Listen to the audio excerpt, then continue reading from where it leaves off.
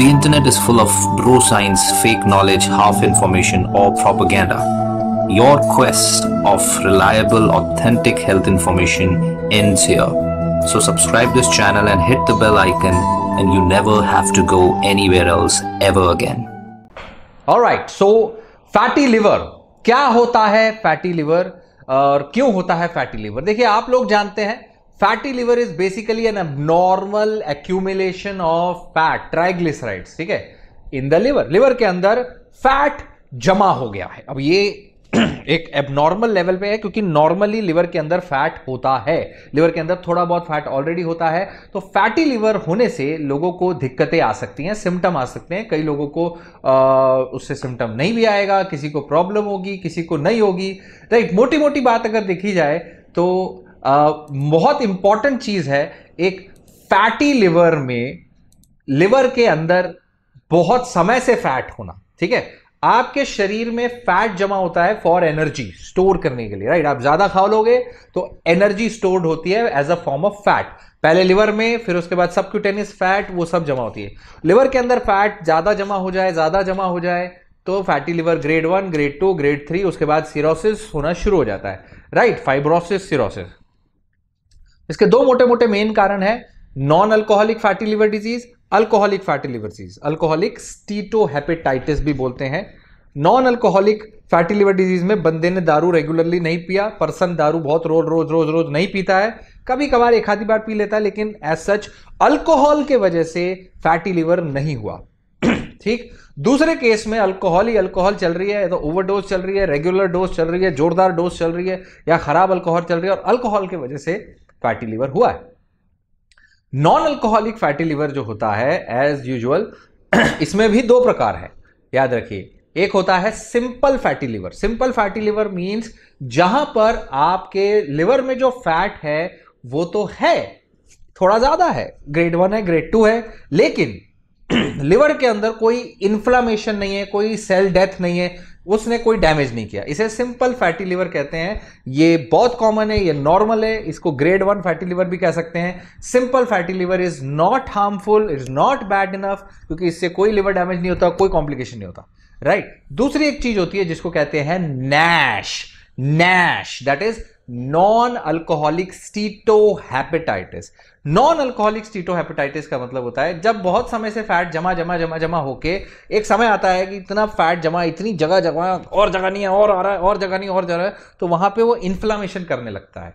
Inflammation means वहाँ पर liver damage होता है, उसमें लिवर के अंदर जो टॉक्सिक सब्सटेंसेस है साइटोकाइंस है, वो सिक्रीट होते हैं आसपास के और वो डैमेज होके लिवर में स्कारिंग होने लगती है। जैसे यहाँ चोट लगती है स्कार टिश्यू आता है, चीरा लगता है, टाके लगते हैं स्कार आता है, वैसे ही लिवर के अंदर डैमेज होता है स्कार आता है। फाइब्रोसिस होता है। Fibrosis scarring of the liver that is NASH N A S H non alcoholic steatohepatitis ये सिरोसिस कर सकता है लिवर कैंसर कर सकता है, ये खतरनाक चीज़ होती है। ये हर एक में नहीं होता, बहुत रेयर होता है, जिसको सिंपल फैटी लिवर है। सिंपल फैटी लिवर है, grade one, grade two can be reversible बहुत आराम से। उसके बारे में फिर बात करेंगे। अल्कोहलिक फैटी लिवर क्या होता है? अब एक पर्सन है जो दारू पीता है, जोरदार, रोज, लगातार, या ऑल्टरनेट डे या हर हफ़्ते, या हर महीने, लेकिन दबा के पीता है, अद्धा क्वार्टर दो पैग, साठ एम एल अस्सी एम एल या फिर गंदी दारू, घटिया क्वालिटी की दारू। So whatever is the case whatever is the case ultimate क्या हो रहा है? Alcohol is causing fatty liver दारू ज़्यादा होने की वजह से हैवी अल्कोहल यूज़ होने की वजह से लिवर के अंदर ज़्यादातर अल्कोहल ब्रेक डाउन हो जाती है, लेकिन जो नहीं हो पाती, जो नहीं, क्योंकि अल्कोहल ब्रेक डाउन होता है acetaldehyde acetaldehyde break होता है एसिटिक एसिड बेसिकली बनता विनेगर है। जी हाँ आपको नहीं पता तो पता करिए पता होना चाहिए कि अल्कोहल से बनता विनेगर जी हाँ vinegar acetic acid is vinegar लेकिन उसके बीच में जो बनता है एसिटल डिहाइड वो होता है टॉक्सिक उसी से होता है नशा उसी से नशा चढ़ता है राइट सो so, एक घंटे में अगर एक पैग से ज़्यादा पियोगे तो नशा चढ़ेगा बाकायदा राइट right? किसी का कम कम में भी चढ़ जाएगा किसी को ज़्यादा में भी नहीं चढ़ेगा डिपेंडिंग अपॉन कितनी आदत हो गई ब्रेन को. But then that is a different topic कितना सेफ़ लिमिट है covered in other another video another day right यहाँ बात हो रही है दारू ज़्यादा पीने की वजह से लिवर के अंदर हो गया फैटी लिवर। क्योंकि लिवर में क्या होता है ब्रेक डाउन जब नहीं हो पाता किसका, अल्कोहल का तो वो जनरेट करता है हार्मफुल सब्सटेंसेस और हार्मफुल सब्सटेंसेस अपने आप में ही लिवर डैमेज करते तो यहाँ पे ज़रूरी भी नहीं है कि fatty liver grade two grade three grade four जाएगा। यहाँ तो अल्कोहल लेने वाले के लिए डायरेक्ट लिवर डैमेज हो रहा है। डायरेक्ट लिवर डैमेज हो रहा है, थोड़ा बहुत फैटी लिवर होगा, लेकिन डायरेक्ट लिवर डैमेज हो रहा है। राइट सो दिस लिवर के अंदर जो toxic substances because of alcohol दारू पीने की वजह से ही इन्फ्लामेशन बनता है और वहीं पर सिरोसिस होना शुरू होता है फाइब्रोसिस होना शुरू होता है और ये आपके बॉडी के नेचुरल डिफेंस मैकेनिज्म को भी प्रॉब्लम करता है। जितनी ज़्यादा अल्कोहल जितनी ज़्यादा दारू, उतना ज़्यादा डैमेज जितना रेगुलर उतना ज़्यादा डैमेज और जितनी घटिया क्वालिटी की, उतना ज़्यादा डैमेज रिमेंबर दैट ना क्वालिटी क्या है? जैसे नकली दारू बेसिकली नकली दारू की बात कर रहे हैं। Right so that is the thing so alcoholic fatty liver से अल्कोहलिक हेपेटाइटिस और अल्कोहलिक सिरोसिस होता है। ये होता है अल्कोहल से। अब किसको होगा? फैटी लिवर किसको होगा? चाहे अल्कोहलिक हो, चाहे नॉन अल्कोहलिक पहले तो अल्कोहलिक वाला तो जो दारू पीता उसको ही होगा। नॉन अल्कोहलिक फैटी लिवर किसको होगा? नॉन अल्कोहलिक फैटी लिवर के रिस्क फैक्टर है। आपको है कि नहीं है? लेट्स सी भाई, आपने अल्ट्रासाउंड नहीं किया। आपने अल्ट्रासाउंड नहीं किया, आपको पता नहीं चलेगा आपको फैटी लिवर है कि नहीं है। आप कौन कौन कराएगा अल्ट्रासाउंड? जिसको भी ये सब चीज़ें हैं, वो अल्ट्रासाउंड कराएगा। कब कराएगा? साल, दो साल में एक बार। कौन?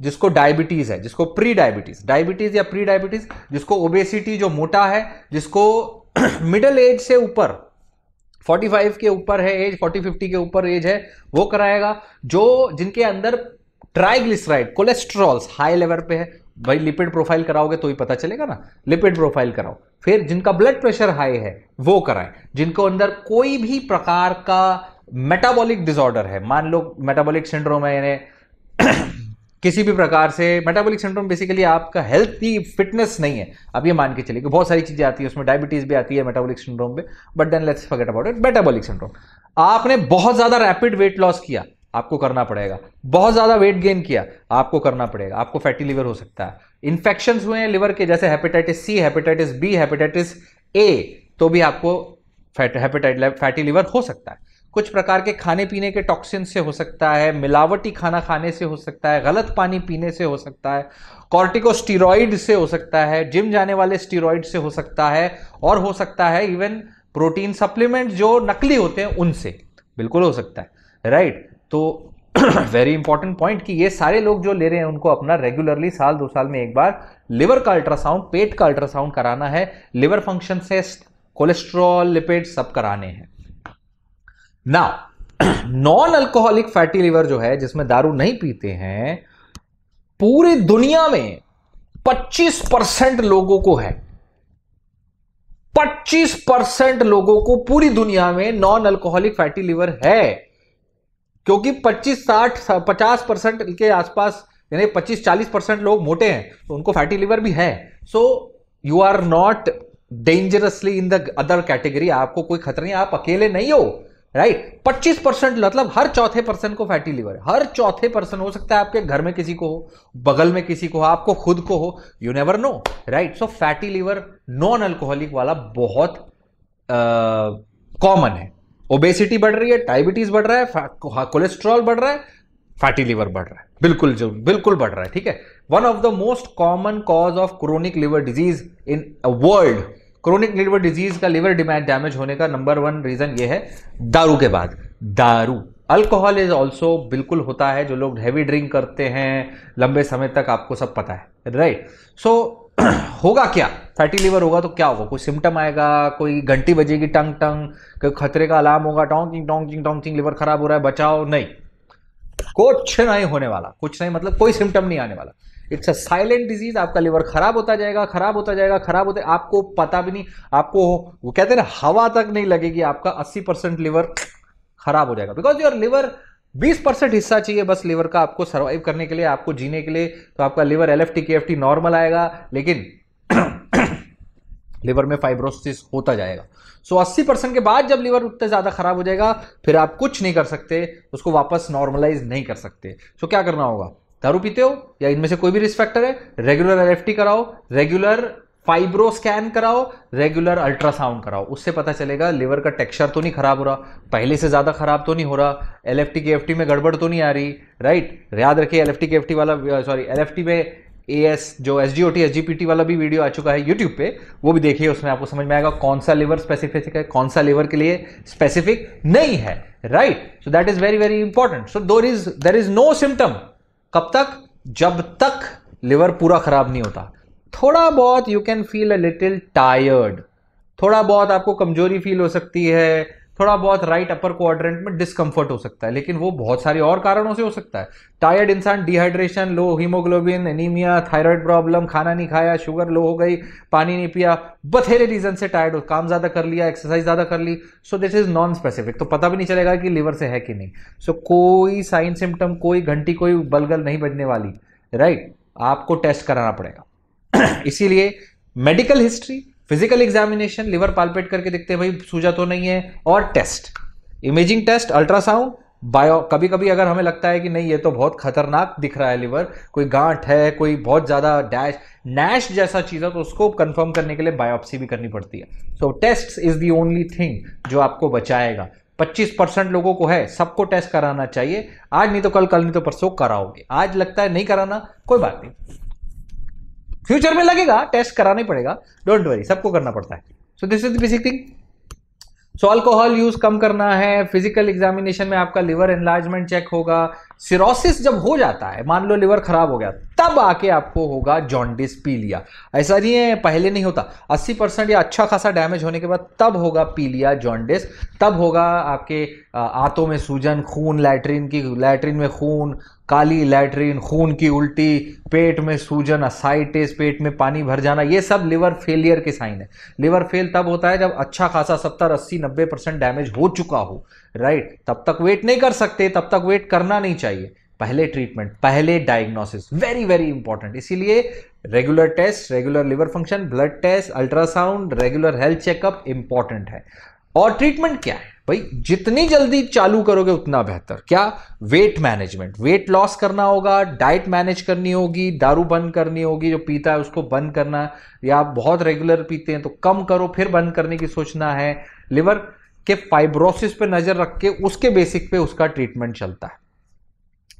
फैटी लिवर का कोई रामबाण इलाज एक ही है। जितना फैट जमा है, उसको यूज़ करना पड़ेगा। फैट क्या है? एनर्जी। एनर्जी क्या है? तो और एनर्जी मत खाओ, एनर्जी इस्तेमाल करो। एक दिन में नहीं होगा। जो दो साल में या दस साल में जमा हुआ फैट है, उसको कम से कम उससे दस गुना कम तो समय लगेगा। कम से कम दस महीने तो लगेंगे। कम से कम चार महीने तो लगेंगे। सो टेक इट स्लो खाना बंद मत करो। कार्बोहाइड्रेट कम करो, फैट कम करो, normal protein diet, low calorie diet खाओ, ठीक हो जाओगे। डैश डाइट हमने कई बार बताई है, डैश डाइट यूट्यूब पे भी है, DASH diet by doctor education, YouTube पे वीडियो देखियो फॉलो करो, ठीक हो जाओगे। गंदी आदतें छोड़ दीजिए, दारू, सिगरेट, बीड़ी, जो भी है, उसको छोड़ दीजिए, क्योंकि एक बार लिवर खराब, एक बार सिरोसिस हो गया भैया। तो वो दिन दूर नहीं है, या तो उसको लेके जीते रहोगे जीते रहोगे अल्टीमेटली खत्म हो जाओगे, या फिर लिवर ट्रांसप्लांट करना पड़ेगा।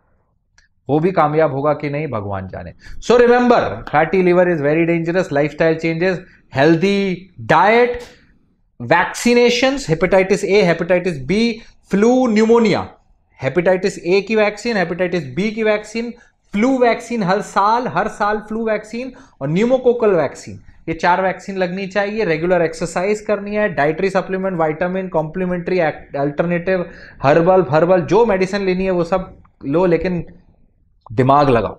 बेसिक्स के ऊपर कुछ नहीं है। डाइट के बगैर हेल्दी ईटिंग के बगैर वेट लॉस के बगैर कुछ नहीं होने वाला। दारू पीते रहोगे तो कुछ नहीं होने वाला।